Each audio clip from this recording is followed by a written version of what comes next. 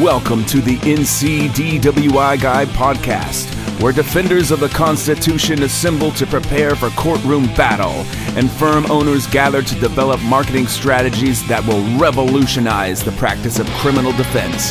Here's your host, the NCDWI Guy, Jake Minick. Hello, fellow freedom fighters, and welcome to episode 88 of the NCDWI Guy podcast. On today's episode, we have a very special guest. Dan Gerl is joining us on the podcast today. He's got more than 15 years of experience fighting DWIs, both on the prosecution and on the defense end of things, and has also created a really, really great law practice in Washington. Uh, we're, we're going to talk about the size and how you scaled to the to the point that you're at uh, now now dan but um, yeah just kind of kind of want to dive in and maybe let you introduce yourself in terms of uh, where you guys have come from and what, what you are now. Thank you. Uh, thanks james and thank you for your your kind uh, words. Uh, i'm happy to uh, to be a part of your podcast. So um, my name is dan Gerl i'm the founder and ceo managing partner of puget law group we are located in Western Washington State in what's called the Puget Sound area. Um, I started my practice about going on nine years ago as a solo, uh, right around 2017, I would say, we kind of hit our stride. Uh, we went from two attorneys to three and then four. In 2019, I uh, ended up uh, teaming up with uh, three other uh, guys are kind of high profile in different areas. We then became a partnership. Since then, we've we've grown. I, I guess you could kind of say exponentially to where we now have uh, 11 attorneys, including myself, as well as about uh, 15 or 16 staff people. So we're about 27 people strong right now. Yeah, that's amazing, and it's it's a wild thing to see how quickly that growth has taken off when you guys sat down and decided that a partnership would be you know a, a good a good setup and that you you each kind of had your own niches but that being kind of uh, uh, two heads are better than one approach was that something that you already had laid out in terms of the growth or did that kind of happen organically after after forming that part, partnership? What did that look like? That's a really good question. Uh, there was probably a little bit of that that uh, that I kind of had in mind, but certainly not nearly to the degree that things turned out. And and I that's kind of what I would like to anticipate moving down the road. That every every time we get maybe two years down the road and we look back, whatever we were thinking we were going to do two years before, we've we've we've gone you know beyond that. That's kind of my goal. I would say, uh, insofar as I wanted to uh, dominate uh, in our market uh, in in a number of different areas. Uh, that was probably behind the uh, the move to partner with some of the other guys that I did. So one of them I had already hired on as a as a senior level felony defense attorney. That was about maybe 2018 at that point, I, I had been growing, but I had not, uh, I, I, was dealing with some growing pains because some of the attorneys that I had working for me were, were younger and less experienced. And I was kind of having to do uh, a lot of damage control. And it really wasn't any fault of theirs. It was just, you know, kind of putting them, in, uh, I guess, in the deep end. Um, when one of them moved on to a different job, I had an opportunity to hire uh, a guy who I'd known in the area here for several years who had been doing criminal defense uh, uh, probably longer than me, actually had been because I knew him when I was a prosecutor. Uh, and I knew that if I had somebody like that on my team, I not only would I not have to worry about uh, managing the the client end of things because here's somebody who's got a lot more experience and had a really good reputation and was really good with clients, but also somebody that I could kind of start to build some brand upon their experience and their and their uh, you know their profile in the legal community. Uh, so we I hired him, and then uh, about six months later, stumbled upon ran into a, another attorney in the area who I'd been friends with for some time, who was a partner in another firm. I had been looking to get a PI practice off the ground. I had done a little bit of personal injury, um, but I, I, you can't do a little bit of personal injury. Uh, no, not, I, I, I can't, can't. I totally agree without getting in a lot of trouble or potentially. And I knew if I'm going to do this, I've got to have somebody who can be dedicated to it and who knows that. Um, and uh, and in search of somebody to do that, uh, it just so happened uh, this friend of mine, uh, Casey, who's one of my partners today, uh, was kind of looking for a change as well. Um, now he was already a partner, so it wasn't a, for him. It wasn't a simple matter of just coming and working for me. So he proposed a, a partnership, and it didn't take me very long to realize that that was in my best interest. That I've never been this person who's fixated on having my name on the door or fixated by having complete ownership or really even complete control. If I can be uh, at the helm and leading something where others have input um, and others have equity, but the the sum of what we have uh, not only gives us something much greater, but even myself much greater. Uh, I have no problem letting go of this, you know, me versus us. I, I like working as part of a team. Uh, I, to- I, actually- I, totally agree with that. I, I think that the uh, the ego can get in the way of a lot of fun if you've got the right people around you. I, I think that one of the things that you said that really stuck out of me because it's it's something that I think a lot of attorneys that are trying to go from you know one one uh, uh, person firm to you know two or three or adding you know the, the next associate really struggle with who do i hire? Do i hire somebody with experience or do i hire somebody out of law school? And i don't think that there's a perfect answer to that question. I think for us it's been dependent on the market that we're going into and the caseload that is going to be expected. So in newer markets that we're expanding into sometimes we've uh, hired somebody that is fresh out of law school to try to kind of develop um, you know the branding to to kind of get up to speed but where you have somebody that is taking over an active caseload i really do think that experience comes into to play in a major way so to recognize i think in your case um, somebody that can kind of come in and, and really really hit the ground running so to speak is is something that has um, you know, definitely been part of our thought process with uh, with taking over an active caseload. And that's always a challenging thing to bring somebody else in to really kind of maybe uh, handle some of the cases that you were previously handling. So, what, what, specifically on that front, in terms of of uh, your hiring process at the firm, you know, years of experience, or does it depend on the practice area? what, what advice or tips do you give on that because that's something that i think a lot of lawyers really struggle with is how do we get you know the, the, how, do how do i get my associate to kind of take over my caseload to, to, to be productive at the office yeah so uh, you know a lot of this is uh, stuff that you know i've learned over the last you know three or four years and and it's been a lot of trial by fire you know some of these things uh, yes are lessons that's the, be- that's uh, the best way to learn lessons very very um you know very uh, very painfully learned in some cases. And and and, and it continue, the challenge continues. And and right now I, I realize we're at a point where, you know, um, I run the firm, but I don't consider myself necessarily the boss, uh, at least not uh, uh, as far as my uh, my partners are concerned. But I am the leader, and and you know I have uh, partners that that that not only need me to be in that role, they they they insist that I'm in that role because then that there's no confusion over who who is providing the direction um, and then they don't they don't get um, uh, other people kind of looking to them for the sort of direction that they know that that i'm setting their focus more because i don't at this point i don't handle cases. I don't have a caseload. Uh, i don't i'm not i'm rarely in court. Uh, last year i was in court uh, for a week on jury duty. And other than that uh, i don't think i quit the courthouse uh, more than one, once or twice last year. And that allows them to concentrate on what they're doing personal injury criminal defense.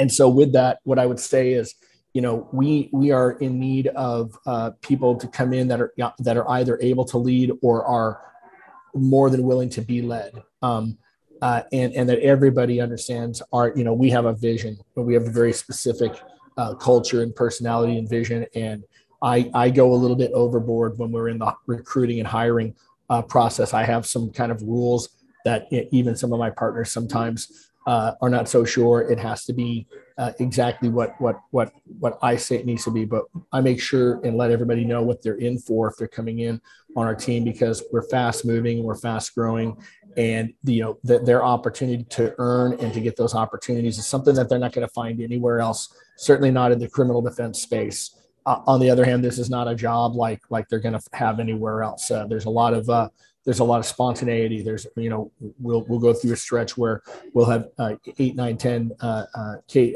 people hire us like with, within an afternoon, uh, and and uh, there, there, it's it's it's really like a you never know exactly what's going to happen on a day to day basis. It's for me, it's it's it's part of what I am willing to uh, deal with in order uh, to uh, to make choices and the decisions that are that I need to make for us to continue the growth that we've dedicated ourselves to. And then this is just one of those things that kind of comes with the territory. Um, if I if we in the past if we've hired people that don't really align with that, uh, whether they're at experience or just coming out of school. It's never a good outcome for them or for us. Um, and so I, I make it very clear. This is this is you know, probably I probably to the degree where I might go a little bit overboard. You know, uh, this is uh, this is this is who we are, and and and, and what I'm what I end up ultimately telling you should either excite you or it should scare you. Uh, and if it doesn't excite you, then then you probably don't want to be here. Uh, and uh, you know, I mean, I find that that does work. Um, uh, we we tend to get more and more people coming on board that that get it, or or they have approached us because they become familiar with us or they've learned about us, and that's why uh, that's why the conversation has started because they've kind of reached out to us. So uh, I, I, I like to continue to kind of uh, do things in that direction. Yeah, I, th- I think that that honesty up front is so important, and I think a lot of times there are not honest conversations about what the job is going to entail because a attorney that is looking to make a, a hire so often on the first hire is doing so almost out of a point of need as to a point of growth. And so you need somebody to come in and start handling cases. You need somebody to come in and start taking these calls. And when you're hiring out of need, you have to uh, sell yourself, right? Or maybe even almost oversell yourself because you need this person that you think is the right candidate to come in and start working. Whereas if you're looking for the right team member, whether that's the first person on the team or the 10th per- person on the team, and you you say, hey, here's what our culture looks like, here's what the day to day is going to look like, and and uh, like you said present it to them in this this place of okay well this is either going to excite you or going to going to cause you a lot of anxiety better to be upfront and learn that this is not going to be a good fit before you have to figure out payroll and spend you know a month in you know pretty extensive training and do all of the other things and then have the person ultimately just not be satisfied and leave anyway. So i i think that that real honest upfront conversation is is so helpful to just keeping the culture the way that you want the culture to be but also in terms of weeding out anybody that's really not interested. Yeah and the one thing i would add also because we're we're, we're kind of um, uh, potentially dealing with this uh, uh, in the not too distant future is have a have it worked out uh, uh, have an exit uh, plan for what happens when that attorney inevitably decides to move on you know? Right. so we what we do um, uh, for our attorneys is that you know they make they, their compensation is a is a mix of base salary and commission. And the commission is usually based upon what you know the matters that they sign up that they represent you know where you are the attorney. I mean they're a puget law group client but you are their attorney. And the expectation is that you sign it up you pretty much uh, determined what the fee was going to be uh, and they see you as their attorney. If they have concerns or questions or if if you if, if you're having some difficulty in the communication you know th- their next move is not well i need to talk to your boss right? Their next move is they see you as the person that they're that they're going to have to work this out it should you know you can always come to me if you need help or if you have questions but but that thing should you should you need to be able to resolve that in order for in order for that commission to have earned uh, and and so uh, i don't know what it's like in uh, in uh, north carolina but you know in washington state if somebody, uh, if an attorney leaves a firm under the rules of ethics, the client gets to decide who will continue yes. to represent them. Now, if that attorney is moving on to get out of the legal profession or to go work at a public defender's office, my my guess would be that you know the decision has more or less already been made. Uh, on the other hand, if they're going out on their own or they're going to work for another uh, another firm, um, you know, uh, that client could make the decision that they want to go with it. Well, then what happens as far as you know the, the commission plan? What happens as far as compensation when that attorney moves on and this client goes with them, but they've already paid our firm? These are all things that uh, that that you should think about uh, in advance, and then have a policy and make sure that they understand that coming in because you don't want to try to hammer that out uh, uh, uh, as the person is on their way out. Um, uh, again, things that we've learned um, from past experiences and things that as time goes on and we hit another event, sometimes we have to kind of improvise a little bit based on what we already had in place. You, you, can never think every detail through until you until you run into it. But the more the more you can kind of uh, plan for things, obviously, the better. Yeah, I totally agree with that. In in terms of your in terms of your rebranding that you did a couple years back and moving from Gerl uh, Law to uh, Puget Law Group. What was what was what did that look like in terms of you know uh, conversation about that transition? What was your kind of thought process in ter- terms of the benefits of doing that? Because that's obviously a pretty major thing, and you know I mean, I assume that maybe could you restart over uh, uh from day one? Maybe you would pick a non um, you know non name. We, we've talked about recently at our practice uh, rebranding to from Minick Law to more of a DWI generic practice name. Um, and I've got I've got equity partners at the firm as well, so it's kind of that symbolism that this is not just you know my you know m- my name that's on the door but also um, you know what what you stand for what you're you know building your building your brand. But what did that what did that look like? And for people that might be starting a law firm why would you maybe advocate uh, going away from kind of a, a, named practice? So the reasons why I did it would be different than why I would do it now or what I would advise somebody coming out of school. Um, I did it for a, a, number of reasons. First of all, I, I, I and I'm I, am i am speaking in terms of marketability and branding. I have a terrible last name. I, it, it, couldn't be worse. Even you did you didn't pronounce it correctly at the beginning because nobody would look at it and pronounce it correctly without knowing it's Gerl. Uh, so if you hear it and then you try to spell it, you're not going to spell it the way it's spelled. And if yeah. you read it, you're not going to say it the way that it, it, is pronounced. It's and it's just you know it's it's a it's a one syllable. Uh, you know, it doesn't have a, it doesn't have an impact Minick. That's got some that's got some that's got some tooth to it. My name is my name is horrible. Uh, so, so I had I had zero zero um, uh, problems uh, moving away from it just for that reason. And I also, and, and I didn't have a name, you know, I went from being a prosecutor for five years to then working uh, for three years for a personal injury firm where I developed their criminal uh, defense area. So after three years, I developed a little bit of a reputation and a name, but but but I was under their brand, you know, so I still had didn't have a chance to to put my name on any sort of you know uh, logo or whatever so when i did it and again not not already not being the kind of person that necessarily wanted to see my name in print uh, previous to being an attorney i was a graphic designer and i worked in uh, in marketing i worked in advertising and it's funny because i remember at the time i had my own my own graphic design practice and i i, I had a name for it i didn't call it dan Gerl design I, it was almost similar to what I see with law firms. Yes. It was always James Minick design. I always thought yeah. how boring that was. yeah. I, that, I never had any, I never had any, never wanted to see my name, although I did want to, I did want to see the thing that I created, that name being out there. So I think about three or four years in, I just thought, you know, I want, I want to create something that sounds a little bit bigger and a little bit, a little bit broader with a little bit more gravitas. And so, you know, uh, Puget Law, Puget Sound being the area that we're in, I went with Puget Law Group. Um, and I do believe that that that that um, uh, I do think that that uh, uh, paid some dividends because I, I can track our kind of the upswing of our growth to not not long after I made that change. Now I will say I will say this: if anybody does that now, and they people probably know this, I was pretty naive. There's a way you got to do it. If you're on yes. Google, Google bit, don't don't do it. I mean, unless you're really a, an expert on that find somebody who knows that to help you out with that because the, the way i did it we basically fell off of google for two months and i was doing pretty good as far as the paid ads and things like that i screwed it up and i and I, the phone didn't ring for two months unfortunately uh, the person that i did find to kind of help me out with that who to this day i work with uh, did know what I did wrong and why, and, and what he could do to get us back in the indexes and things like that. That's all stuff that's way over my head.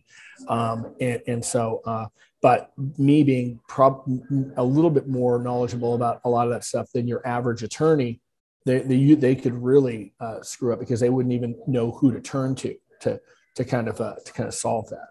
Um, but yeah, I do, I do think that that uh, I do think that that was important. Um, and and, uh, and what I would say to somebody coming out now is I would say, you know, exactly what you said. You know, I'm sure that you are hearing the same things that I'm hearing about about about the, the not not the possibility. I think the inevitability of of non attorneys coming into ownership in, yeah. in, in, the legal field. I mean, it's coming.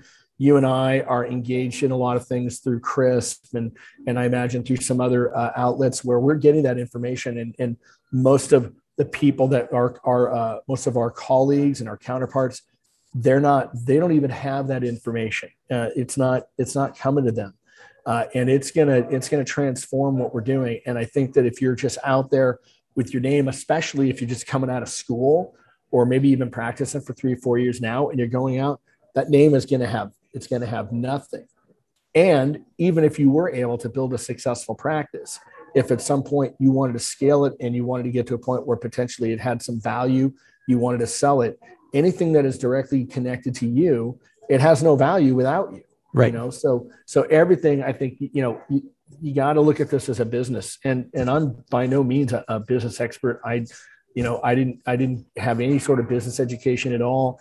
Um, it's just kind of an awareness and and and the willingness to understand that you know if you're not approaching this uh, as as a business if you continue to to keep you know kind of keep stay narrow minded and listen to the old people the old, the old practitioners that you know, are going to be retiring in the next few years who are telling you this is a this is a uh, you know uh, uh, this is a practice it's not a business. I mean you're just you're not doing yourself any favors.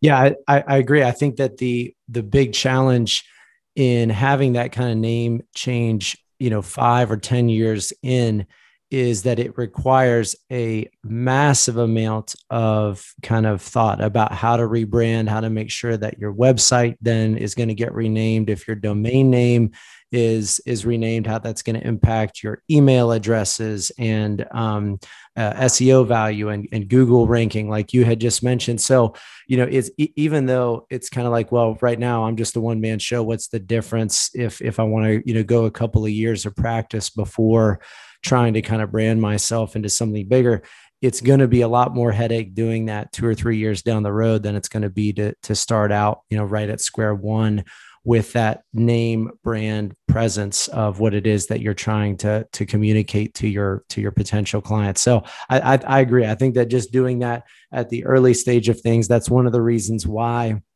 we're being kind of slow on our end about that right now because we've been talking about it for over two years is just trying to logistically think through every single part of what would be impacted by a, a brand name change and how are you know prior clients going to find us? How are we going to be able to to post this out into the um, uh, you know google brain and make sure that that doesn't get mixed up? All that kind of stuff plays plays into it. So i think that that's really important.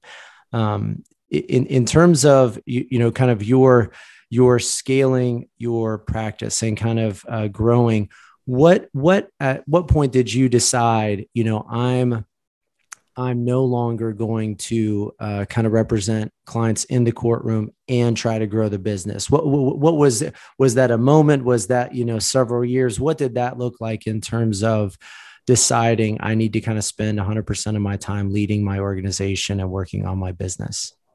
I think it probably, I think it kind of got its its its initial push to kind of scale it down um, when I hired uh, the attorney that had been practicing uh, in in our uh, in our community for a while. I got on, you know, this guy who had more experience at that than me, uh, who I knew uh, I could entrust. I didn't have to worry about you know clients complaining about the attorney that didn't seem like they knew what they were doing so that that kind of allowed me not only did that take up a lot of the caseload it allowed me to just kind of step back and focus on you know just the just the um, you know the brand development and then w- when we partnered up um, it was a it was a it was a conscious decision that we made as a, as a firm that i was going to get out of of uh, having a caseload and that i was going to uh, specifically you know run the firm.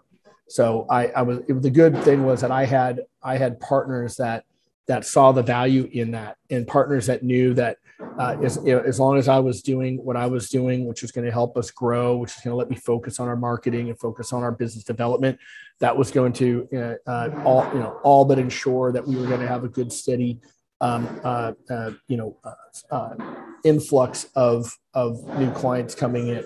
So they didn't have to. So that would keep it. That would keep them from having to worry about how do we know that that the phone's going to keep ringing, and then uh, and then know that they would they could just focus just on handling the cases.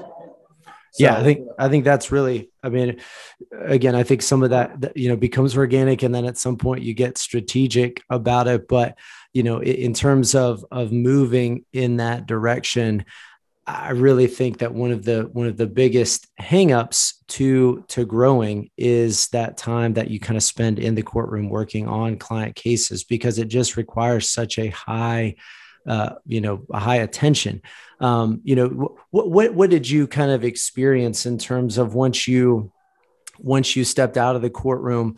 Was was the difficulty in stepping out of the courtroom because you were concerned about uh, clients um, how they were going to be represented without you kind of in the courtroom with them? Or was it more you know just difficulty in terms of making that that transition? Because for me I, I just kind of thought, you know, that that it would just be too too big of a step to pass this off. I, I kind of even knew that I wasn't the the the, the person that was best equipped to help clients in the courtroom that there's other attorneys that are honestly just better attorneys in terms of representing clients.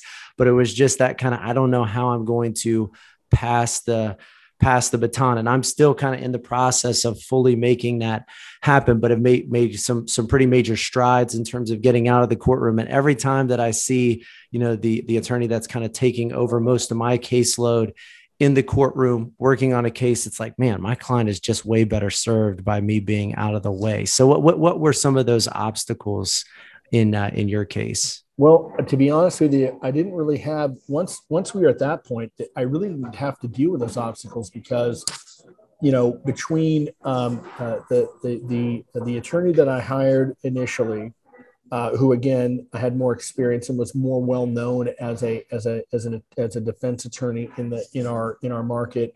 Uh, Casey, my partner that I brought on um, and and and started, uh, you know, the three of us then partnered and then six months later, we brought another uh, guy in who, who had been the chief criminal prosecutor uh, in the in the county where we're located right now. Nobody would, you know, and and again, I I'm I'm pretty I'm pretty uh, low um, uh, low uh, low ego in this. Uh, nobody would would look at that as me and then three guys. They, they, right. They, these guys are all entities on their own. Right. That makes uh, sense. I, I never had an issue. And, and, and, you know, even today, you know, I, I do, I, every once in a while I will sign people up. I'll answer a phone. I'll walk them through and I get to, I get to, uh, I guess sell it as I run this firm. This is the team that I put together. These guys are the best at what they do. The better at it than me because I'm the best at what I do within our firm. And so, you know, anytime you, and that's really the job of a leader, I think, right. is, to, is to put people in place that are better at what they do than, than you are. And so um, I, I consider myself the best leader. I don't need to be the best DUI attorney or the best uh, uh, this or that. I, I, do think I'm a, a good attorney, um, uh, but you know, uh, this is this is what I'm best at. So for me, uh, at least once I got to that point where I made that first decision that that was kind of a gut check. You know, bringing somebody on who I knew I was going to have to pay six figures to. Um, you know that that was that was daunting, but I just I knew if I'm going to take that next step, I'm going to have to do this, and it and it certainly paid off. From from that point, that's it's never been a it's never been a concern. And like I said, they're more than happy to have me be in this role, um, to have very limited involvement. Every once in a while, I might go cover something in court just because a couple of my attorneys are in trial. Um, but as far as actually handling the cases, there's no uh, there's no such thing as you know. Be nice if Dan handled these, and I I don't. I mean, there's certain parts of that that I miss, but there's a lot I don't miss. I don't right. miss. I don't miss. Uh, you know, uh, we all know you know some of the difficulties that you deal with when you're when you're an actual uh, attorney handling a client case. Look, I don't miss that. You know, I have my own things that I deal with that they don't. Uh, but it's just it's really just the best. And and I think we're probably there's probably few, if any, firms that do what we do that have this, what I would consider to be kind of a luxury. Because you're right. I agree. I, yeah, I know a, a lot of the firms that are on that growth path where where they where whoever's running the show, he he is or she is in court a lot, and that's got to be a tough thing to juggle. And and I don't know how they do it. I don't think it generally it, they're able to do it as successfully as as they would be able to lead the firm if they didn't have to do that. Which is why I think we're uh, we're, we're successful in what we're doing.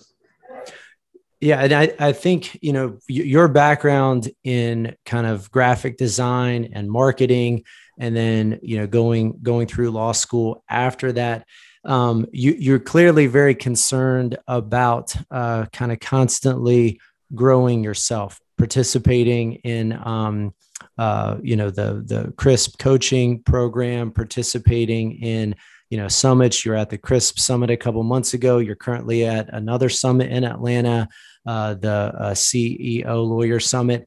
Um, uh, you know, in Atlanta again. So you're flying back and forth across the country to make this a priority when when did that become a priority in terms of when you when you left being a prosecutor into the into the private um, world at what point was it kind of like i need to really kind of focus on branding and marketing and how to develop as a leader and how to develop my business? Was that always present? Did that kind of increase at a certain point? What did that that process look like?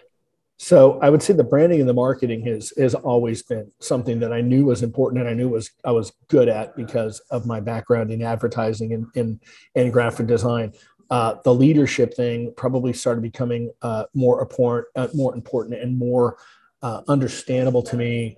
Uh, ever, you know, after we started getting involved with CRISP, you know, so back in 2019, I found uh, Michael Mogill's book, um, "The Game Changing Attorney." I was looking at it specifically for marketing inspiration. I had kind of been thinking about the idea of video marketing, had not done any of that yet. Thought I'd get some good information out of that book. It ended up turning into I want these guys to, to do this for us. So uh, we set about uh, hiring them to do our branding campaign right around the time that we finished all that was the was the summit in uh, 2019 that I went to with a couple of my partners, and I think it was there that that it hit me, you know, that that, that we we have the ability to do so much more, and we got involved with CRISP coaching. We signed up uh, for CRISP-X.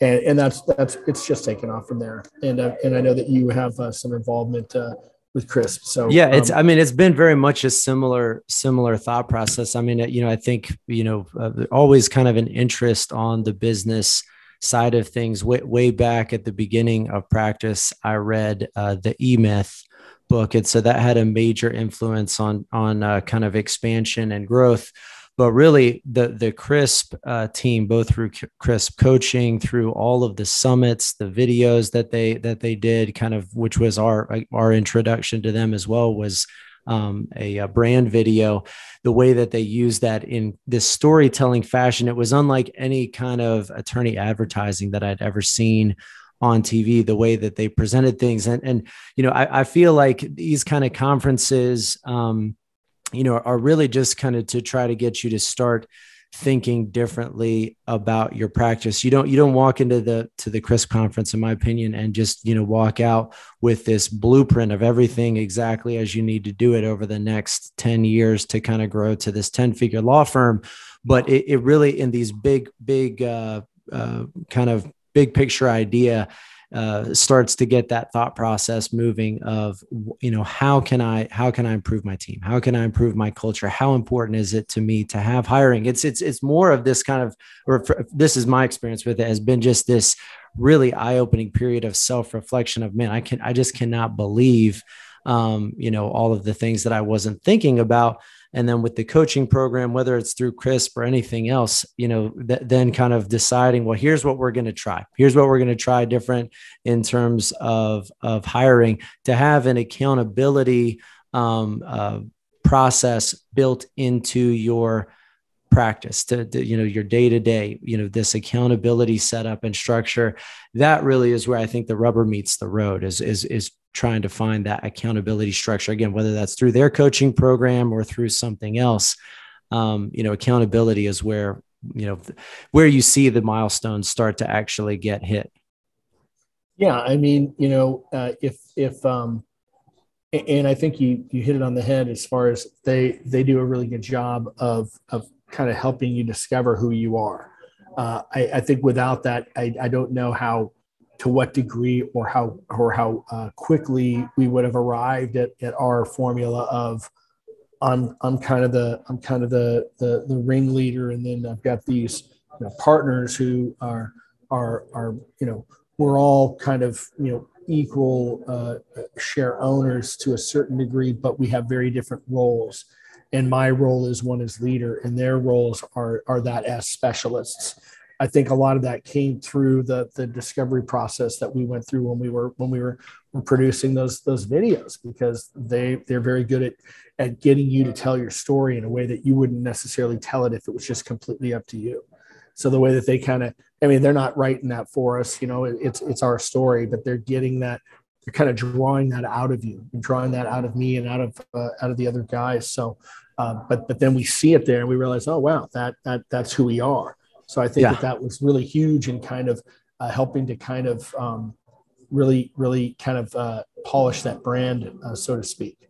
So. Yeah, I, I, agree. That was a similar experience for us in terms of the branding video. I mean, we'd never had, you know, uh, really until the last couple of years, but definitely not when we did the brand video, core values or brand promises, you know, a, a really good understanding of why we were doing what we were doing.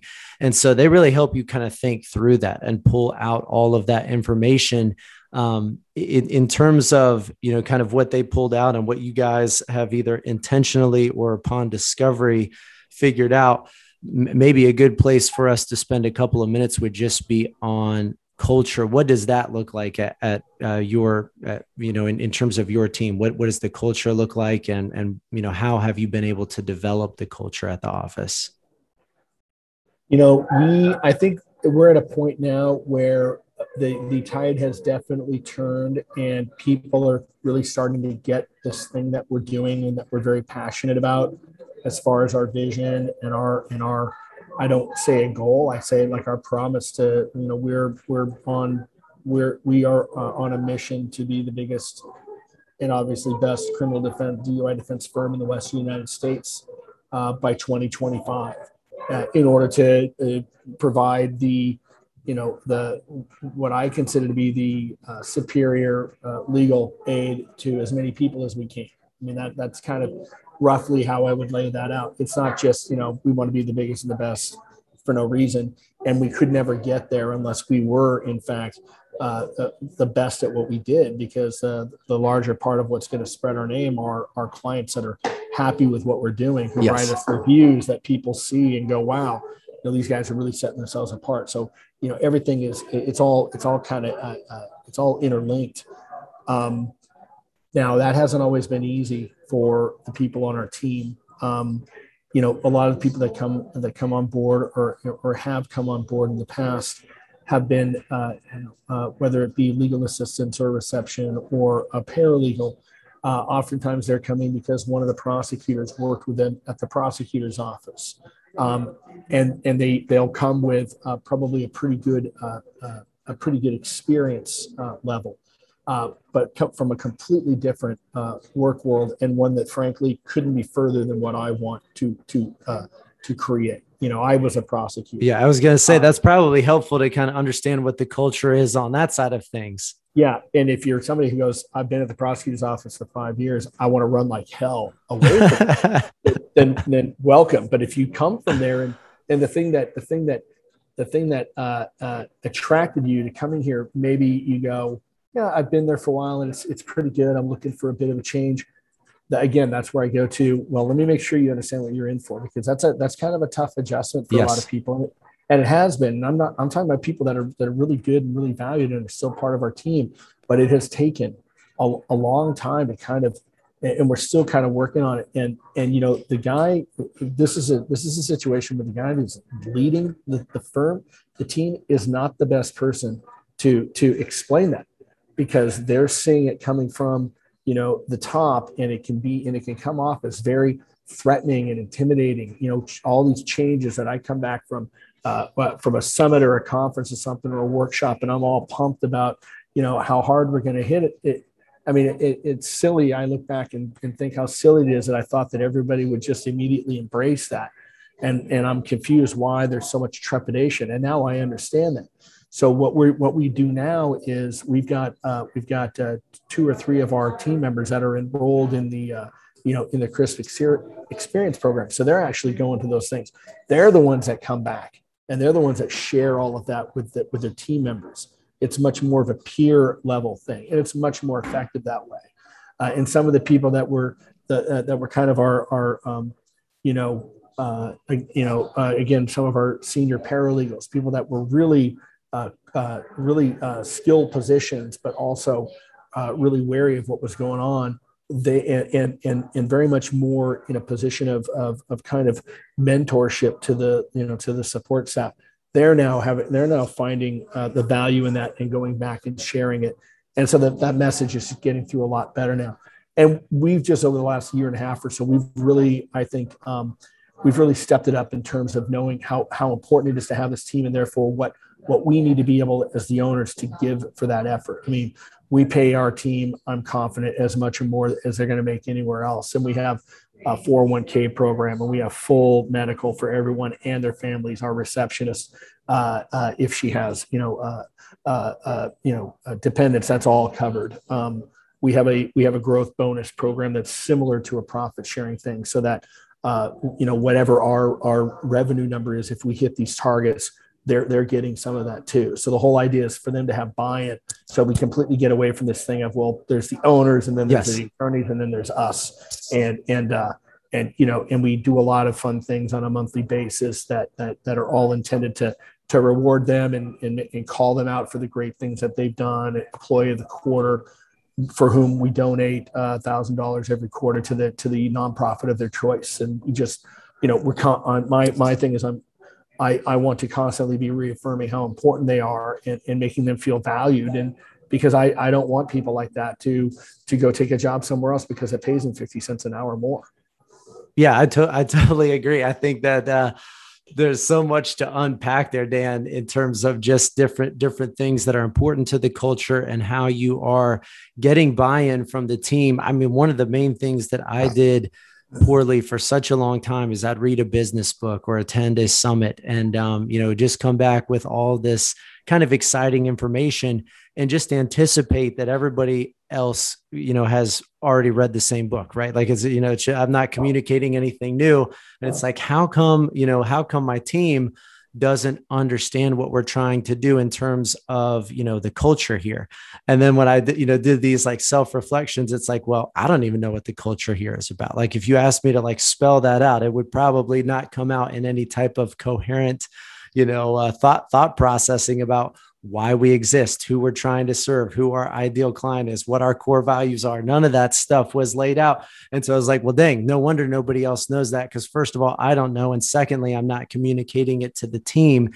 And, you know, just having those regular times where you are, you know, talking about your mission or your brand promises or your core values whether that's you know on a daily basis or a weekly basis however it is getting communicated to the team outside of the day-to-day uh, you know grind of cases and handling these things is so important. And uh, we we uh, just took to the um, the most recent crisp summit the the whole team. So attorneys, staff, we took we took everybody, and you know it, it did two things. First of all, it revealed to everybody how much I was stealing. You know, it looked like I had uh, come up with all this good stuff on my own. It was very clear that I was just stealing everything from uh, from Crisp. So it, it, made me out to be a fraud in front of my team.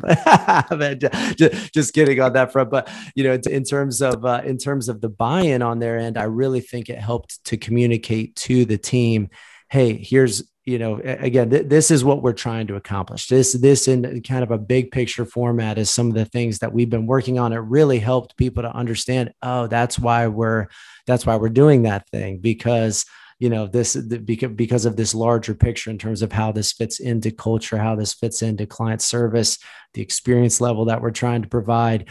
So i yeah i think that you know really making that culture aspect the uh, the client experience something that everybody is a part of. Regularly hearing about has the ability to give feedback to is so powerful because the more you can give that ownership to your team whether that's through you know actual kind of almost like profit sharing own, ownership in the in the business itself or ownership of a case ownership of a problem uh, you know ownership of how to build the culture the, the, the more you create that buy-in. So i think that that is just such a, a powerful thing in terms of how you guys are doing that yeah, no, absolutely. And and again, we're we're still not uh, where we where we need to be. You know, uh, I still, uh, you know, when I when I get that that there is true, um, uh, authentic ex- excitement among uh, people on the team over the fact that we hit the Inc. 5000 for the third year in a row.